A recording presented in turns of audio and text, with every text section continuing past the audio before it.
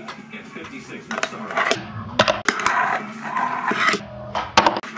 SportsCenter's Top 10.